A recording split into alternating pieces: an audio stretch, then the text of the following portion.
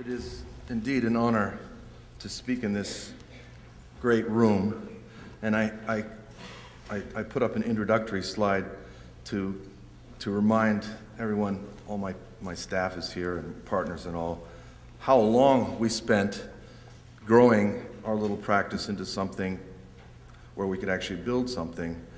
Um, this is an image from an office which I had for 10 years where I slept on a plywood shelf over the entranceway and no one knew I lived there. Uh, and during that time, the figure of John Hejduk was, in a way, a conceptual anchor for us. And, and the ideas, the sort of compaction of his thought, the conceptual density, moving architecture towards poetry and painting, to me is still very, very important. So I just want to, I, I, just have to say something uh, in memory of John. the, the talk tonight is an experiment, and that's why I invited Jeff so that he can uh, uh, shoot some arrows. I made a book which was published last year called House Black Swan Theory, which in a way is the micro scale, talking about the small scale. And now we're trying to finish this book, Urbanisms Working with Doubt. And so, what you're going to hear tonight is the 11 points that are the 11 chapters of the introduction. My argument, followed by about six projects that illustrate the points. So, um, the first, and thank you for David Vandeleer for doing the poster, and, and to everyone who worked very hard to organize this. It's a pleasure, and I'm sorry to be using it as a kind of uh, guinea pig for the book, but I think it's important the issues are important, and I'm going to read basically, Tom said you can't read anything, but I'm going to read a certain paragraph from the beginning of each section. Today, working with doubt is unavoidable. Today, the absolute is displaced by the relative and the interactive. Instead of stable systems, we must work with dynamic systems. Instead of simple and clear programs, we engage contingent and diverse programs. Instead of precision and perfection, we work with intermittent, cross-bred schema and combined methods. Suspending disbelief and adopting a global understanding is an a priori condition, a new fundamental for creative work in science, urbanism, and architecture. And this is a chart I made about six years ago, uh, maybe it was five, taking Colin Rowe's comparison of classical and modern and trying to make our own column for what happens today. So you can see that for, for various conditions, you have a new problematic, the intermittent, the differential, the infrastructural, the combination. So the first, the first title, the first chapter title is the geospatial. And I think about reflecting on the macro scale, it's more than the metropolitan today. When we're thinking about the macro scale, we have to think about deep time. That's deep historical time, millions of years. And on one scale, and on another scale, the solar system, the planets. And here's a picture of the aurora borealis, which for thousands of years from the northern latitudes were, were the source of mythical uh, and, and, and feared uh, conditions by several cultures. Today, we can photograph it from above. We know exactly what's happening. The, the plasma from the sun, from the solar wind. We know that it moves from the northern hemisphere to the southern hemisphere in three quarters of a second, but we still don't know why most of these aurora activities occur in the equinox. Venus, the closest planet to the Earth, the, the planet that's most like the Earth, the planet that basically has the same size and it used to have water. Now all the water is steam because a giant greenhouse gas effect, partially volcanically in, induced, but it contains, uh, it contains the greenhouse gas that surrounds Venus to an Earth temperature of 860 degrees. And it's interesting to think about the fact that it once had water. Venus, by the way, is a retrograde rotation planet. That means the sun rises in the west and sets in the east. And it, you, it has no moon. The Earth has one moon, but my theory is it used to have a moon, but it left because of the nasty climate. When we're thinking about the macro scale, it's not just the metropolitan, the urban, the city, but the edge of the city. And, and from 15 years ago, our research was really about the edge of the city and, and, and thinking about the condition of the landscape looking back at the city, from the position of the landscape looking back at the city. But in a certain sense, today, there is no position that doesn't engage these issues. So, and so, and so, and you could say every work is an urban work. There is nowhere on the ground today which is outside of these issues. Second category is experiential phenomena. Yehuda Safran says you've got to get rid of the word phenomenology. He, and I think of Wittgenstein's uh, sentence there is no such thing as phenomenology. There are indeed phenomenological questions. So I'm using experiential phenomena. Of course, when we're thinking about cities, it's not urban plans and diagrams. It's really the experience of shade and shadow, the experience of reflection, the experience of the different materials that the architects are actually building, the material of the buildings, their capacity for reflection. The third category is spatiality of night. And my idea is that there, in fact, is a, a new kind of urban space that's created by what we, the power we have today with luminosity. The luminosity of the 18th and 19th century cities was radically advanced in the 20th and 21st centuries. The shocking joy of vast urban night light appears, alters our perceptions of the shape and form of urban space. A dirty, gray, crowded intersection by day, in New York's Times Square is an astonishing volume of glowing light by night, a space of phenomena of a mix of light and color. Dynamic color reflected in wet streets blurs the metropolitan space to intense cinematic levels. And one can take this into consideration when making architecture, that there is a kind of condition of a spatiality of night. Urban porosity, a very important topic, something I've been working on on a micro scale as well as a macro scale, but it's most important on a macro scale. And this is an old paragraph from Walter Benjamin, Reflections. There is a description of the urban porosity of the city of Naples, where he observes the porous architecture in which building and action interpenetrate in the courtyards, arcades, and stairways to become a theater of new unforeseen constellations. Porosity is the inexhaustible law of the life of this city, reappearing everywhere. Porosity doesn't mean it needs to be literally looking porous. For example, we've, we've been told that this is our most porous building. It's the College of Art and art history in Iowa, where you can pass through it in many different ways, and the movement of the, of the planar architecture really is about openness and passing through. Sectional urbanism, that we should be working in the z dimension, not just the x and y dimension, which means the first thing you draw is a section. Instead of the 19th century flat footed figure ground space, the 21st century metropolitan space is more active in section. We rise and fall in elevators and escalators, while our points of view open and close in amazing sequences. It is a change as dramatic as from horseback to automobile to aviation. Now we can sweep through our urban space bird like with unprecedented, exhilarating experience. Sixth category is enmeshed experience, partial views. The notion that when we really, when we think of making a building, but we think of it in a metropolitan condition, it's really something other than what we, what we thought of as a whole. It's really something that you experience in a condition of partial perspectives and partial overlapping phenomena.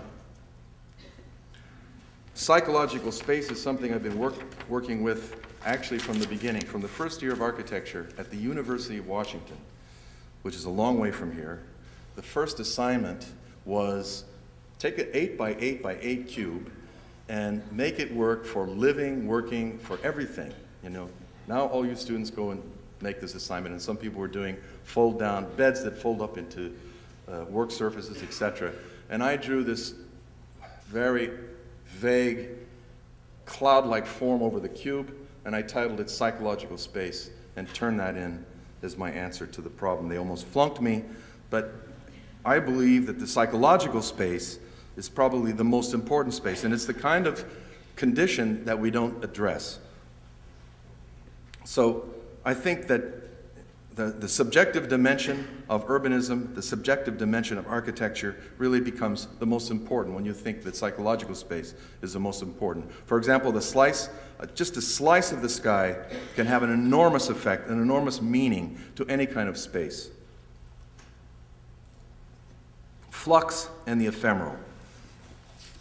I first wrote about the space of flows in 1990 for an exhibition at the MAK Museum. Peter Noever, the director. Since then, many people have written about the space, as architecture now is the space of flow.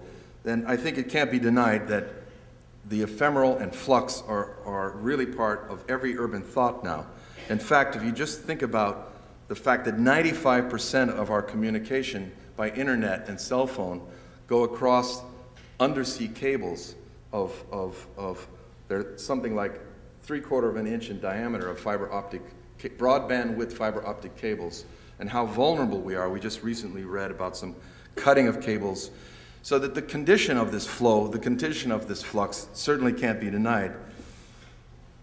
But the fluidization of life in the metropolis, metropolis, while changeable and directly mutable in its transient turbulence, need not be equivocated with an ephemeral architecture.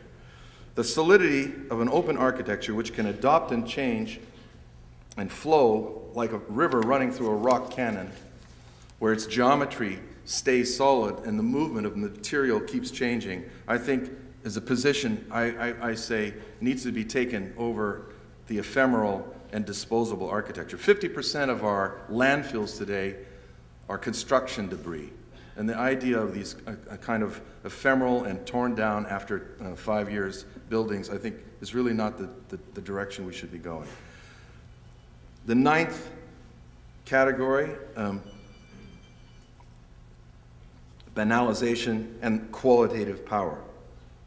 The explosive urban growth that explosive urban growth mostly yields banalization without architectural quality is no surprise. What is surprising is the attempt of the current generation of urban theorists to write apologetically for this flattening banality as if it would be as if we could be immunized to its desensitizing effects via charts and data. A, as a counter argument, I would hold up Copan by Oscar Niemeyer, over a thousand apartments, an amazing building which I visited. In fact, there's books about how people enjoy living there and how the detail of the shopping center, which goes underneath this building, was so carefully worked out and still functions today. It's an amazing space in Sao Paulo. Anyone that goes to Sao Paulo must visit the Copan building to see this kind of dimension of qualitative power on this massive scale negative capability. And this is a picture of the March dust storms blowing off the Gobi Desert in Beijing, I think taken by Li Hu. And this, this idea of negative capability, by the way, is from John Keats, 1817. Several things dovetailed in my mind at once, and it struck me. What quality went to form a man of achievement, especially in literature, and which Shakespeare possessed so enormously? I mean, negative capability. That is, when a man is capable of being in uncertainties, mysteries, doubts, without any irritable reaching after fact or reason.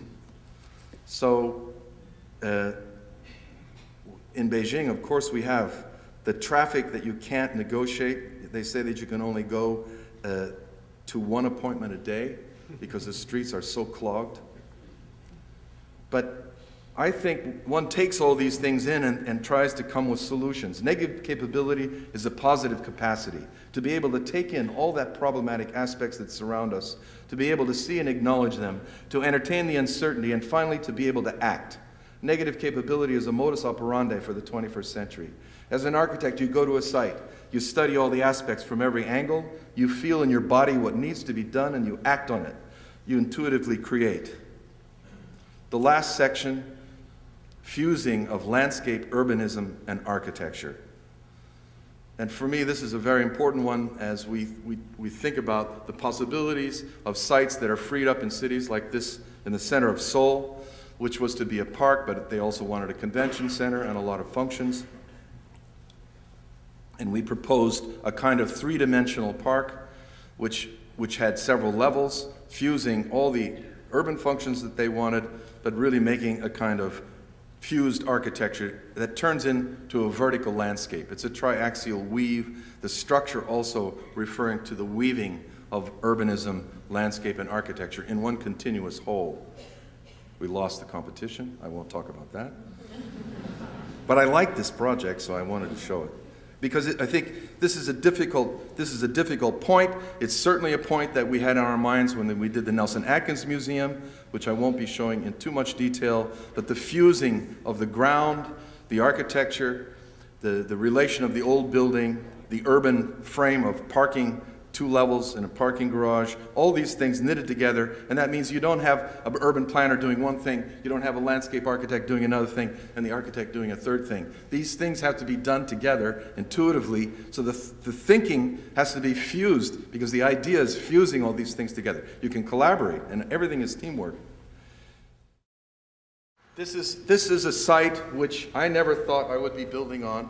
We were in Nanjing, and we got a, a phone call that said, we, we heard you're, you're in China. We want to offer you eight towers with 800 apartments. So I didn't believe it. And I said, Lee, tell them to send us a, a plane ticket. So they sent us a plane ticket. We arrive in, in, in Beijing. They pick us up in a white Mercedes, a driver with white gloves. It's a long story. I, I still didn't believe it. But then they showed us what they wanted us to do. And basically, they had a kind of, where's my pointer? Disappointer. They had these eight towers. There was a zoning envelope, and they wanted to keep this old factory building, and they wanted us, and they were going to be gated communities, gated community towers. So they wouldn't be open to the public, and they thought this would be a museum, and they wanted us to skin or make, you know, interesting skin for these. And they said, you can't move anything because it's the zoning that we got approved. So I, I made, an, made an agreement with them. I said, what you really need is a vision. This site is too important. It's central to Beijing. Let us have three months and X amount of money, and we're going to come back to you with a vision of what you should do. And after a month of negotiation in Mandarin, they said, all right. And so gradually we tried to, we tried to work on it, and we realized we, this is a terrible building. We took away half of it that didn't quite work. We thought about recycling, gray water recycling pond. We got farther into that idea, and I was doing some cantilevers, and Guy Nordenson came over, and I said, Guy, can we, could we span? He said, sure, we can do bridges across. So this became the diagram, bridge linking with new functions up in the air, Cinematheque, the hotel's not even this diagram yet. That became, in fact, this, let's see, there's the site plan. You can see, there's the Russian embassy. By the way, anybody that goes from Beijing, into Beijing now will come in from the airport, so they're going to pass right by this. and, and, and, a kind of, okay, a, a, little piece of history. Beijing, up until 1980, it was against the law to see over the wall of the Forbidden City, so it's all low. And then after 1980, it became very tall, uh, uh, isolated, gated community buildings. And we said we want to develop uh, urban horizontal connections both on the ground level, on the mid level, on the upper level, and make it all open to the public like Rockefeller Center. So after three months, we pre presented this scheme that connected all the towers with functions like swimming pool, spa, and theater in the bridges. It includes a Montessori school kindergarten, functions in the mounds, a hotel, and a cinematheque. And to our surprise, they wanted to build it all. In fact, after I presented it, the director got up and he said, What's important here is the spiritual aspect. We know we can sell all of these apartments. and that's all he said. So then I thought, okay, Lee, I said to Lee, I said, wait till, wait till the budget hits, you know, just wait. Because this is, I mean, look, first they said they weren't going to do the hotel, but they're going to do everything else.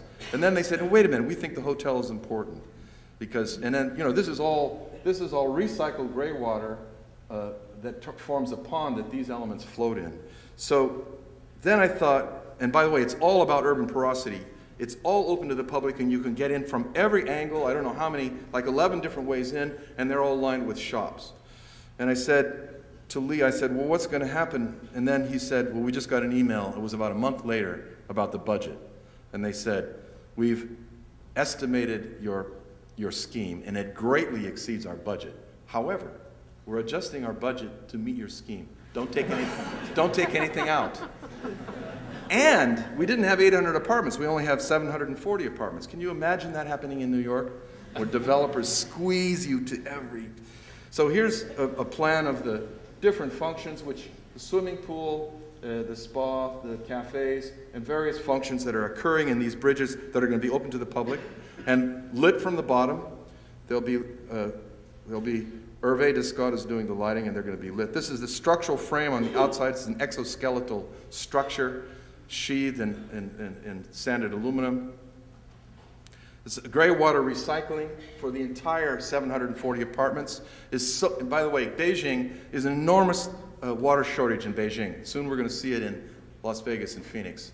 Um, but Beijing has an enormous water shortage. So anything you can do about recycling water, everybody listens to. So we came up with a system, actually Matthias Schuler came up with a system that is very economical because there's one big tank that zaps ultravioletly all the water that comes out of these double plumbing systems. And we have enough water to make the whole pond full all year round, to water all the roofs in the gardens, and there's enough left over to flush the toilets. And also, it has the largest geothermal heating and cooling system in China right now. I think there's another one under construction that's larger. But this one's already in the ground. It's 100 meters deep with 660 wells that heat and cool the entire complex. No fossil fuels. There they are installing the radiant tubing in the, one of the floor slabs. The radiant heat goes in the floor, the radiant cooling goes in the ceiling. That's Matthias Schuler. Matthias Schuler's designed Transsolar out of Stuttgart. There's a gray water recycling pond that will always be filled with water because that water is being produced by the apartment complex. With plants that are selected, frogs that are interviewed and, and selected, and turtles, and a real landscape that'll freeze in the winter and they can skate on it. And there are, there five mounds in the landscape. By the way, they, don't, they, didn't have any, they didn't have any fee for a landscape architect. So luckily I worked for Lawrence Halprin for two years as a landscape architect. So we had to become the landscape architect.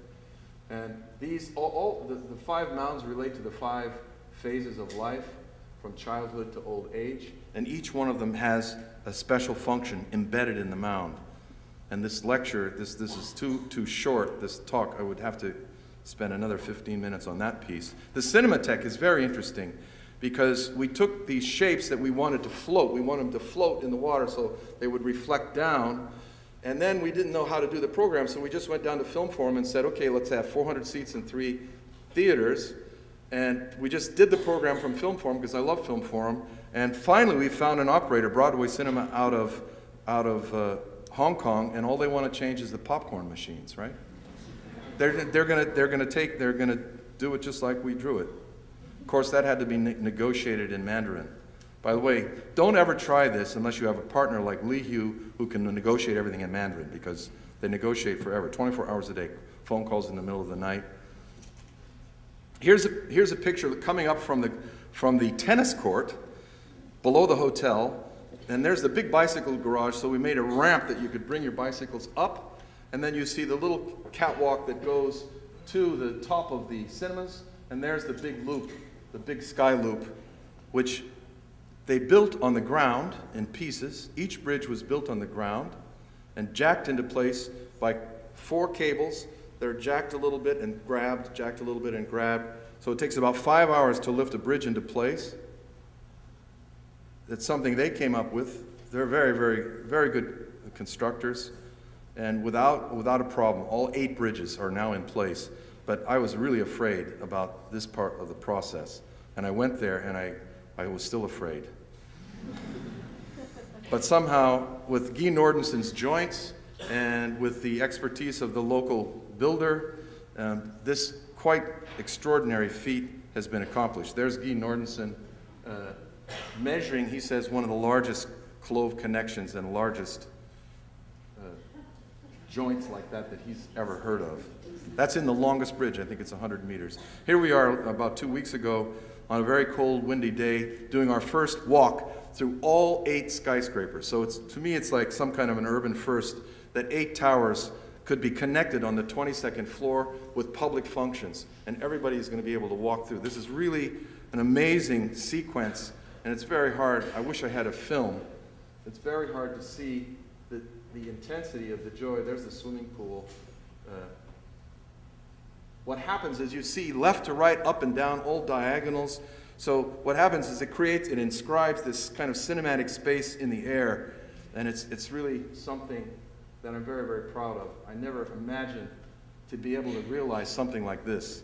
And I apologize, I don't have good slides of it, but when you go to Beijing, please uh, contact our office and you can walk through this loop. Right, Lee? Is it possible? Yes. Coming down to the last, onto the hotel that they weren't going to build, but they built. And you can see the, the first link. So that it doesn't connect all the way around. It loops down and you can come down into the, the that this will all have water. This will all be filled with that big pond. Here's the hotel space.